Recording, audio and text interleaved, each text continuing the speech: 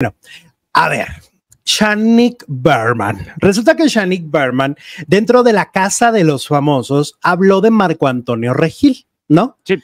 Dijo, pues que prácticamente había tenido el, ¿qué? ¿Qué le llaman? El, el, complejo de Edipo. Complejo de Edipo. ¿Qué significa? Pues que de alguna manera enamoraba de su mamá.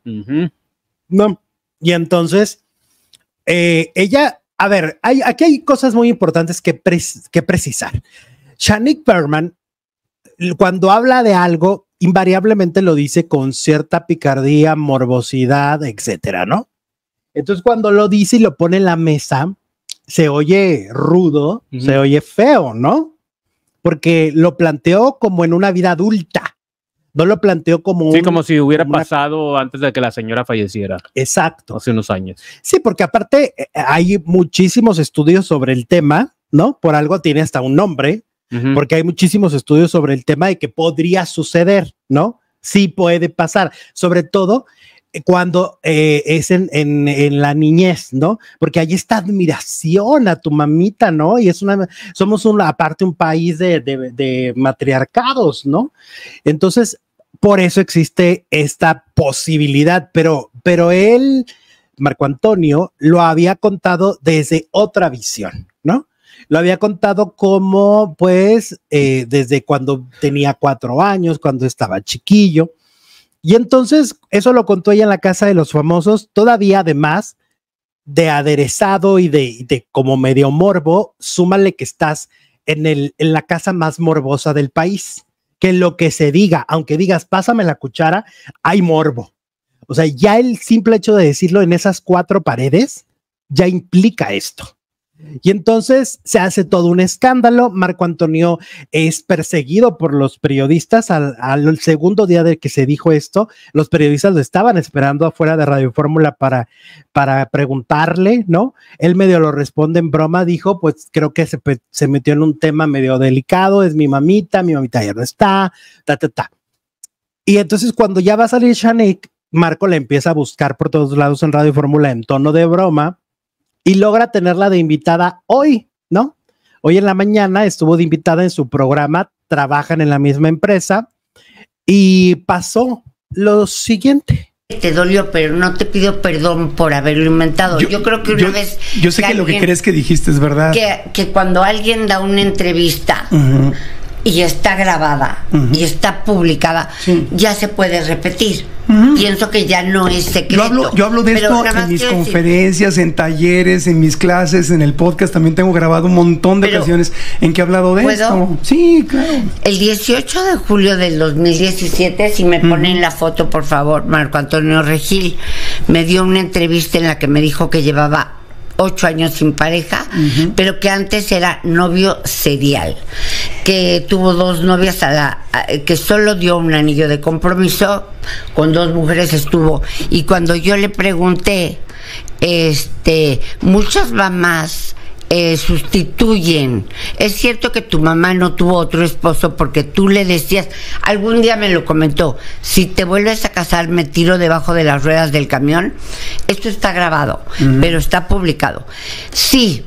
Eso le decía de chiquito, ella era muy celosa conmigo. En el caso típico de muchas mamás divorciadas o solteras, en un hijo sustituyen al marido, no sexualmente, pero ella me decía, Marco Antonio es como mi maridito. Ella no lo hizo con mala intención, pero no es sano.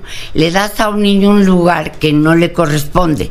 Y yo me sentía muy celoso porque, claro, soy tu maridito, entre comillas, pero tienes dates citas Claro. y sin querer me creó inseguridades las cuales manifesté después en varias Claro. relaciones Pero ¿sabes Y- qué, edad, ¿sabes qué edad tenía? Cuatro años. Estás hablando de un niño chiquito de cuatro años que yo estoy deja- solamente diciendo en la entrevista que Sí, tú me diste lo que dijiste la- ahí tú no me dijiste qué edad tenías Bueno, pero sí, tendríamos que verle. Lo he Sí. dicho en todas partes. Esto no es un secreto. Entonces, ¿dónde está a lo que me, el chisme lo que me refieres emoción? cuando tú sales a la casa de los famosos y dices que yo era novio de mi mamá o que mi mamá decía que era su novio. No, mi mamá bueno decía- eras tu maridito Mi mamá decía que era como su maridito y yo tenía entonces no novio sino Shanik, marido Shanik, Shanik, tú dices Estás hablando de un niño de cuatro años. Pero tú no me dijiste que tenías cuatro años cuando Pero, en pero fin, ahí dice pero- que Vente. Es que, Shanik, es que no quiero lo que dices de que si no me casé y que le dije que no trabajara y que no, o sea, hay un, hay un montón de cosas que no, no es, lo que me dijiste, pa. Shanik, llevo, voy a cumplir 40 años de carrera el próximo año. Cada entrevista que doy que aparece escrita, lo que dices y lo que publican es parecido. Nunca es literal. Es parecido a lo que dijiste. Es el teléfono descompuesto. Todos los periodistas lo hacen. Todos, de verdad. No he visto. Yo una- transcribí la grabación, la transcribir- grabadora. Claro, y en la transcripción se van detalles. Y tú, yo dije, mar- mi mamá decía maridito y tú dijiste novio. Y entonces ahí se van haciendo las cosas. Maridito es más Bueno. fuerte que novio. Sí, pero es una señora que estaba divorciada y le decía a su hijo, tú eres como mi maridito porque no tengo marido y yo te llevo a las Pero tú me fiestas. dijiste que Y- eso tuvo repercusiones en tus relaciones. Fíjate, yo cuando hablo contigo y te platico algo así en la confianza de una En entrevista. una entrevista, Sí, que fue pero publicada lo he- con grabadora. lo- lo llevo 20 años dando conferencias, lo platico en las conferencias, lo platico en mis podcasts, los platico en las clases en que doy. Yo lo único que Pero quiero tú es vas que a- tú ahí- digas que no inventé. No es que sí, sí estás tergiversando las cosas, pero bueno. Bueno. El- Ok. Ay. bueno. Ay, Dios mío, ¿por dónde empezar? Este, mm, a ver, yo sí creo, es que, es que la postura de Marco me parece muy clara. O sea, Marco no dice, nunca te lo dije, no es cierto, eres una mentirosa. No, no, no, no.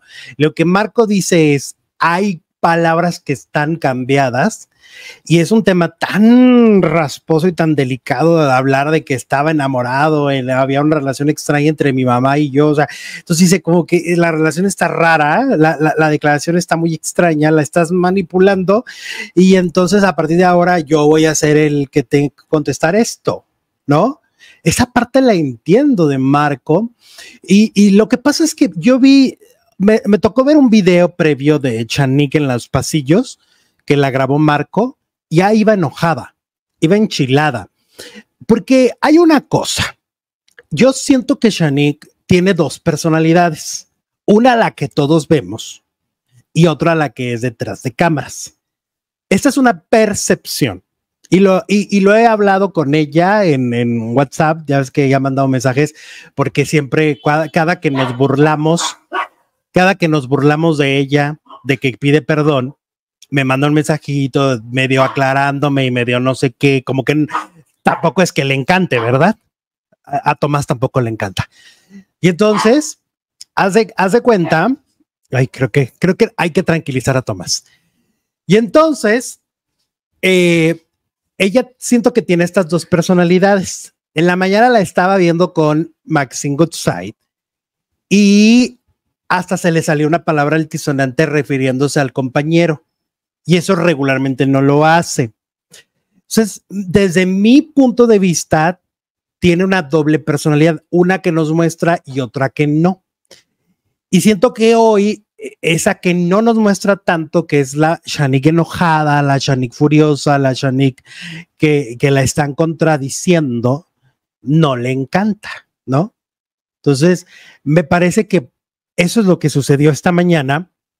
Eh, creo que lo que escuchamos no deja muy bien a Shanik Berman, eh, pese a que vaya con las pruebas de que parte de lo que dijo sí se lo comentó Marco Antonio en una entrevista.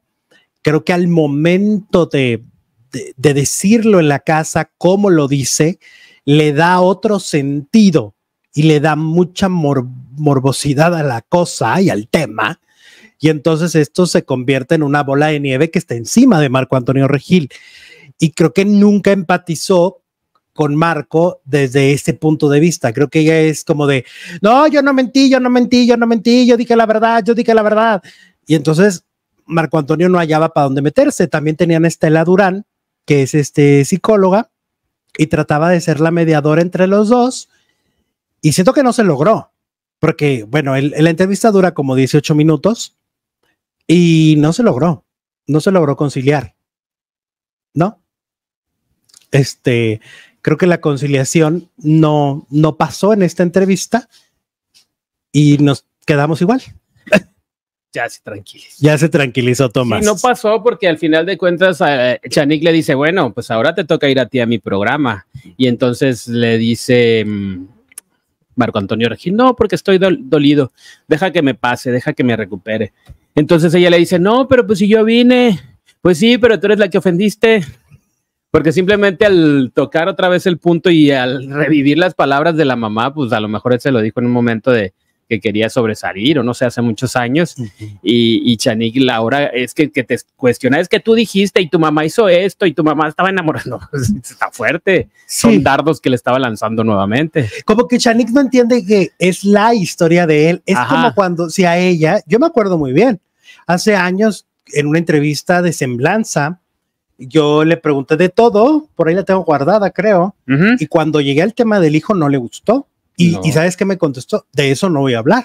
Exacto. Bueno, entonces- Marco Antonio sí habló. Cuando es un tema como de cuando hay alguien involucrado que ya murió, es un tema delicado. Sí. Y ya murió su mamá. Ah, a lo mejor estaba viva cuando lo dijo. Entonces no le gusta mucho volver a tocar un tema que puede, no sé, como que sí podría llegar a manchar la imagen de la mamá. Y el que lo hayas dicho una vez no significa que lo tengas que estar Repitiendo. reco- recordando y repitiendo, ¿no? Ajá, Y exacto. Shanik iba muy incisiva a demostrar que ella tenía la razón en lugar de decir, bueno, si te hice sentir mal, discúlpame. Yo tenía la razón porque aquí están las pruebas, pero discúlpame.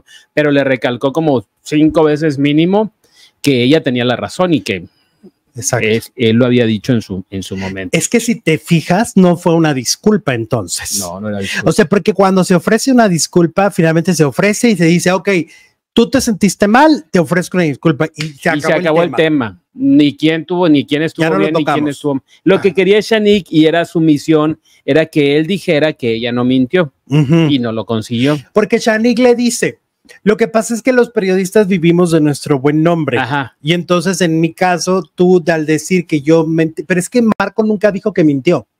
O sea, yo sí vi la entrevista esa donde lo corretean los reporteros y Marco dice, eh, creo que lo dice de otra manera, lo dice de una manera muy fea, pero no está diciendo, es una mentirosa. Nunca. Creo que en ese caso Marco siempre fue muy cuidadoso. No, lo que Marco dice aparte de lo que estás diciendo es que eh, Shanik lo hizo ver como si ya adulto hubiera estado enamorado de su mamá. Cuando en la entrevista le recalca y la misma Shanik al leer la nota dice era un chiquito, era un niño, lo dice dos veces Sí. y entonces Shanik dice no me dijiste cuántos años tenía, pero en la nota ella misma está aceptando que era un niño. Claro. Y todavía de ahí pasó al programa de Maxine y lo recalcó. O sea, todo lo que acabamos de escuchar vuelve ya no a estaba, porque ya no estaba Marco ya no Antonio estaba ahí para Marco y le refutarla. vuelve a decir, fíjate, hace unos meses le pidió perdón de rodillas a, a Juan José Origen Ajá. por una declaración reciente de una semana de, o sea, ella lo comentó en el momento, ¿no? De una, una declaración de Juan José diciendo que había conseguido un nuevo amor en no sé dónde y que su nuevo amor tenía tal edad y que bla, bla, bla, y que era más joven que él. Origen lo dijo, yo lo oí, todos lo oímos. Ella toda ah, fue y le pidió perdón y se arrodilló. Cuando y- ahí no tenía que haber espera- Ahí no. esperado la, que la disculpa de, de Juan José hacia ella, ahí no, porque ahí no mintió, porque ahí tomó las declaraciones tal cuales como todo mundo. no las interpretó, no las manchó, no las manoseó, no las puso como fueron Ajá. y a Juan José, pero yo creo que como con Juan José sí había un interés de que la siguiera invitando a su programa, por eso se arrodilló. Y como con Marco Antonio, pues no hay ese interés, aquí se puso brava. Y aquí dijo, yo no voy a pedir perdón, cuando además era una declaración de hace siete años, ¿no? En Exacto. TV Notas. Entonces, pues, híjole, nos creo que se quedaron en las mismas. Desde mi punto de vista, como yo lo vi, porque aparte lo vi en el video de, de Telefórmula, Marco se quedó como con un mal sabor de boca siento que Mario, eh, Ma- Mario, ándale, Marco se contuvo porque no quería quedar como un patán, porque, porque quiere, porque la imagen que maneja Marco Antonio Regil es de un caballero.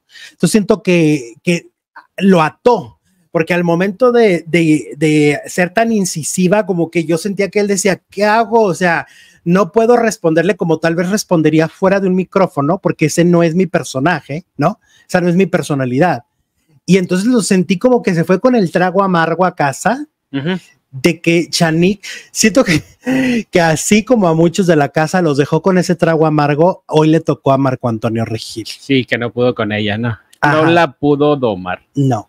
Bueno. Así le pasó a Mario Besares. Así lo dejó cuando le gritó te odio. Ajá, sí. Que además Mario Besares no sabe Siempre que le tiene, ofreció disculpas. siempre tiene la última palabra, Shanique, y no, y no es la más correcta que digamos. Y, y- y Mario Besares no sabe. No, pues Él sí. todavía no sabe que ya ella ofreció disculpas al siguiente día, Ajá. que reculó, ¿no? Mario tampoco sabe que lo culpó de la muerte de Paco. Eh, eh, no, esas cosas eh, Mario no lo sabe. Mario se quedó, yo creo que ese rato sale el tema Shanique Berman en la casa, él la va a recordar como un episodio desagradable, porque le dijo te odio. Literal. ¿Qué opinan nuestros faldilludos, faranduleros? ¿Qué, qué dicen? dice Jorge Loaiza, en las galas no le dan la palabra a Shanique. Bien. ¿Será? No le dan la palabra. Poco. Pues a nadie de los que salen, tampoco a No, Paola. Hablan poquito. Paola no es como que, uy, cómo ha hablado ahí. No, no, hablan poquito. y, es- y así es siempre, ¿eh? Es que meten mucho video. Y meten mucho de los que es que eso está muy grande, que si René, que si el Borrego, que si la Marie Claire. Ujú. Y es teleabierta. demasiados. Bueno, ¿Qué más? Gracias, Jorge, por la tu es- superchat. sí. Dicen por aquí, Marco es un caballero y Juan José eh, le dijo en tu "Eh, vida no digas mi programa. Gran en- diferencia a Shanique le gusta que la maltraten. Ok. Pues es cierto, Marco, Marco fue muy como cau- cauteloso. Lo sentía cauteloso, lo sentía preciso. Ese comentario final que le dice, yo no puedo ir a tu programa porque yo me siento dolido por lo que dijiste. claro. Es muy válido. Sí, sí, sí. Súper válido. ¿Qué más? ¿Está ardiendo el chat o no arde? Nah, mira, de- tenemos eh, encuesta, ¿te parece? Ok. Adrián Marcelo debe ser castigado por el gobierno de México, dice la encuesta de hoy. 78% dice que sí y el 22% dice "Mm, no es para tanto. Ok. No es para tanto. Entonces la gente dice que sí. Que sí. Ok.